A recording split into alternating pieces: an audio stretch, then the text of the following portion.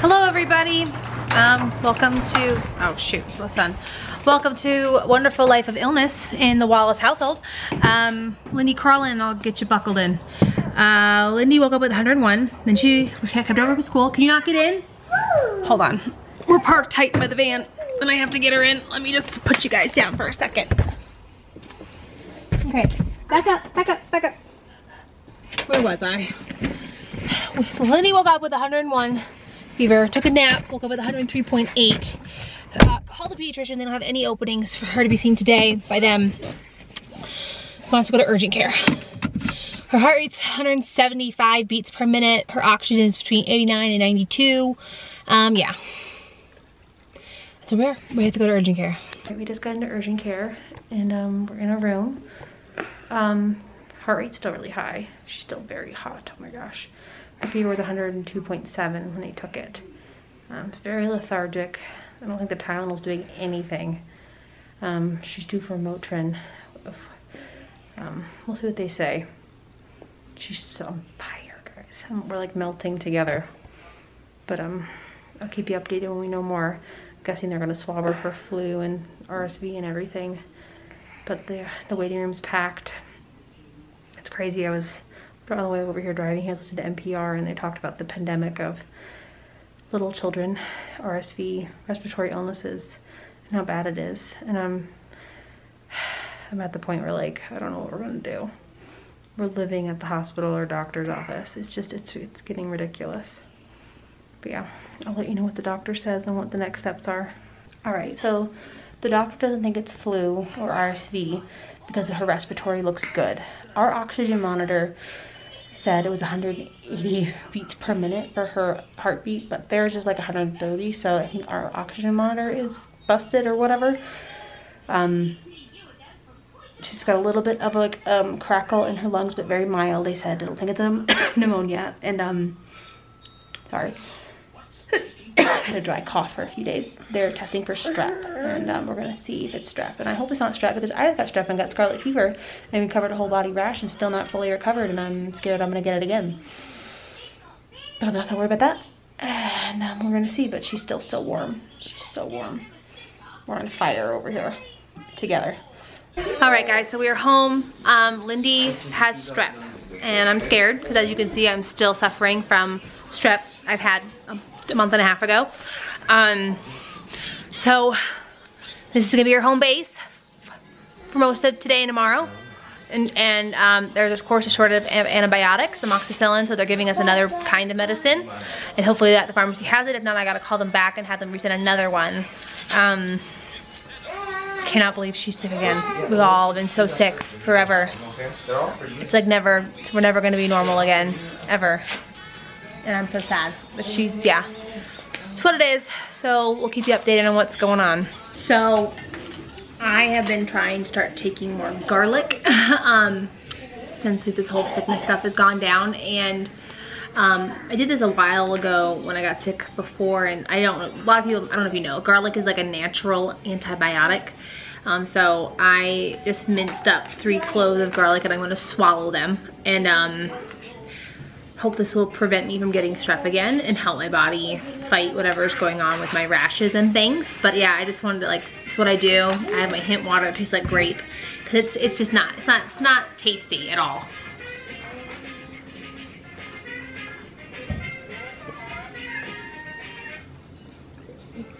Ah, and my burps smell like garlic. Um, but it's something I've been doing, something I've been trying naturally to help my body heal itself because it just it's not working fast enough for me. And uh, I'm just now I'm scared about getting strep again so this is what I'm doing.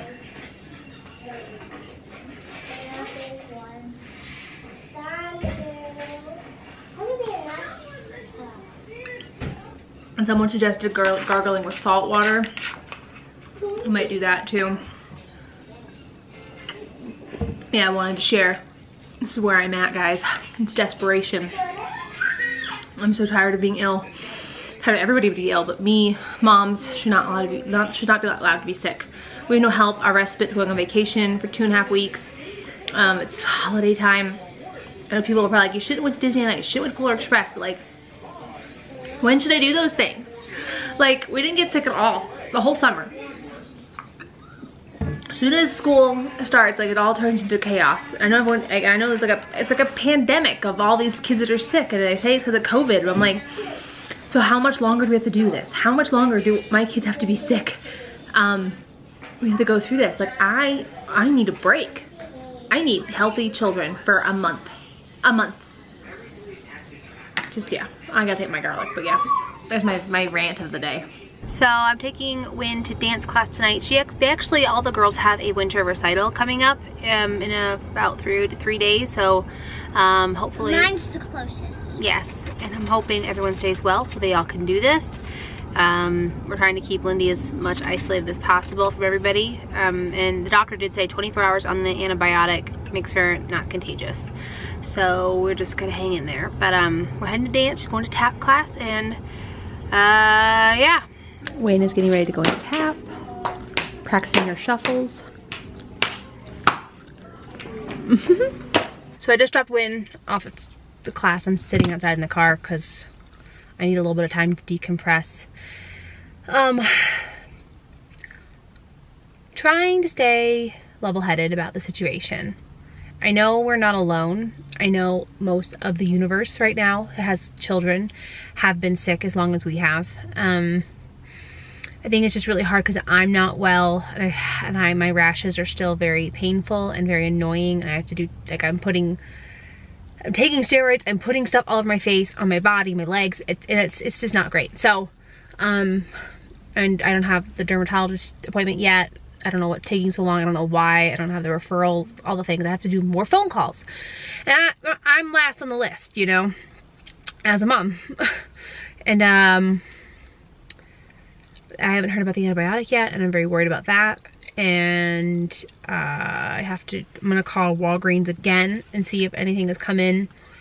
Um, and then if I don't hear anything by the time this class is over, I have to call urgent care and ask them what's going on. But I am a little frustrated with everything. And I'm frustrated with like everything pharmacies, doctors, appointments, illnesses, schools, living, holidays, family. I mean, it's it's a long list of just I'm just tired of everything. And you know, our respite provider again, like I told you, is leaving for a few weeks, and that's fine. Um.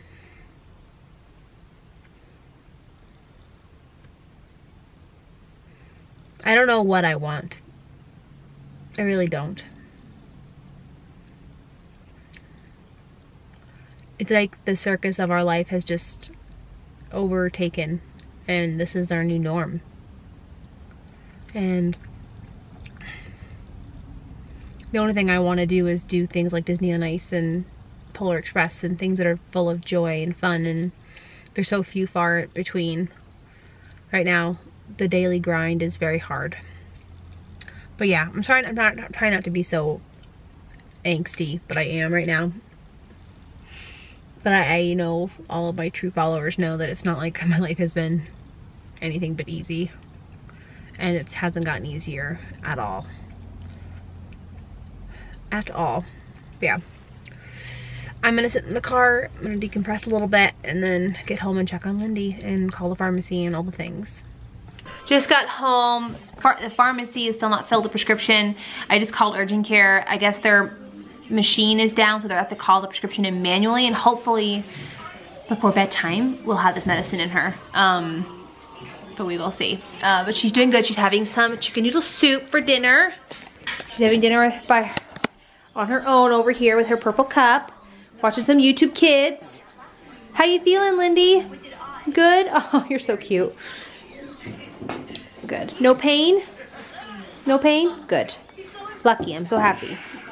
so the pharmacy will have the prescription ready by 7.15 tonight. So we have to keep the kids up a little later than we normally do to give Miss Lindy her medicine before bed.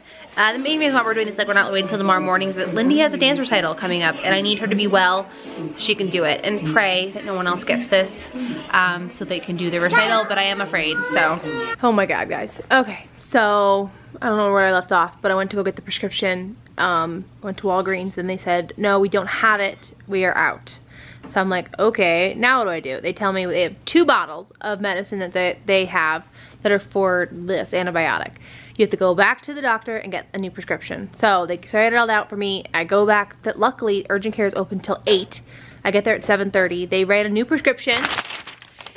Um, me not understanding is that the prescription, the bottles that they were showing me at Walgreens were two separate bottles of two different prescriptions. They only had those two available. So I get back there, they give the prescription, and the prescription they go, oh, this is for X amount of dosage. We only have one bottle, so it's like 100 milligrams or whatever. Um, we can give you that, but we can't give, we don't have enough to fill the full dose, and you're gonna have to go find the full dose in three or four days because they have to how they have to bill insurance. I can't even begin to look for three or four days for the next five days of of medicine. Um, so yeah, that I've been it's been hours. It's nine o'clock at night. I haven't eaten dinner. I've been up since 4:30 this morning. Um, haven't eaten since noon. It's been a joke, uh, but I will be. I'm gonna be blessed and say, hey, we have a five day prescription right now of antibiotics, which is so hard to find. Uh, I feel very lucky, and now I have to try to find the next five days. But I can do it, and I will do it. They gave me back the prescriptions. I can go just to a pharmacy when I do find it, instead of having to call the doctor and have the whole whoop-de-doo of trying to get a doctor to send it. So that works out. But yeah, um, I'm gonna go give Lindy her medicine, uh, even though it's 9 o'clock at night, and get her started, and pray no one else gets sick. I don't know what we're gonna do. There's, there's no antibiotics. There's no, there's no antibiotics. I don't I, this world we live in is insane. This is this is crazy town. Um, but yeah, uh, thanks for watching. Don't forget, guys, you're wonderful. Bye.